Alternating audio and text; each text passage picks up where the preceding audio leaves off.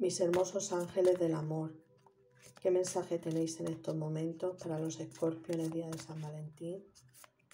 ¿Qué mensaje tenéis para ellos?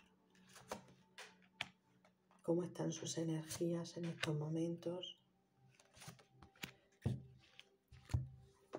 Vamos a ver. Escorpio. La es de tu persona especial aún sigue amándole. No le gusta que rehagas tu vida con nadie. De hecho, mantén, mm, malmete a los hijos en cada cosa.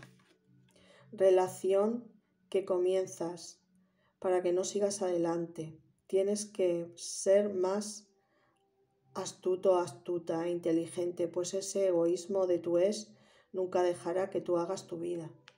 Bueno, tus ángeles del amor en estos momentos os manda este mensaje, sobre todo para los que estéis ya separados o divorciados o tengáis una expareja.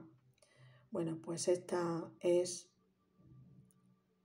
esta es pareja, sobre todo si hay hijos de por medio, eh, malmete a los hijos, sobre todo en esta relación o cualquier relación que hagáis.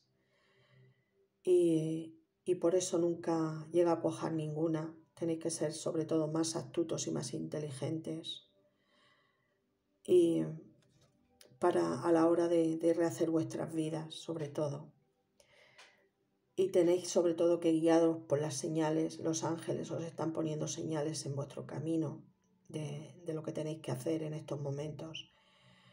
Sobre todo, pues referente al mensaje que ya os han dado los ángeles del amor eh, tenéis que estar pendientes porque aquí os están avisando de posiblemente de, de todo lo que está haciendo esta es o este es.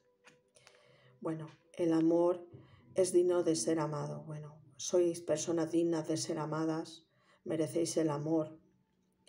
Es el mensaje que os están diciendo los ángeles. Y sobre todo por alguna situación que hayáis vivido o estéis viviendo, tenéis que perdonar y aprender.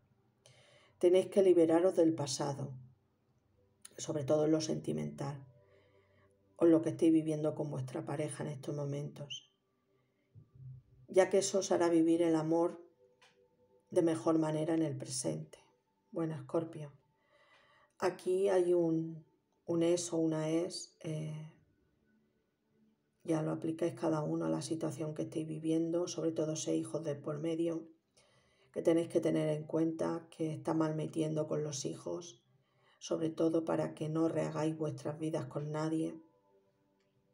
Tenéis que daros mucha, cuenta de las señales o fijaros, porque es un aviso de los acontecimientos que hay a vuestro alrededor.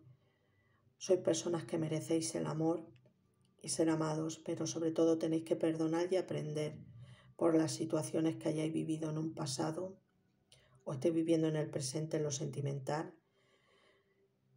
y vivir, ya que viviréis el amor en el presente de mejor manera, sobre todo.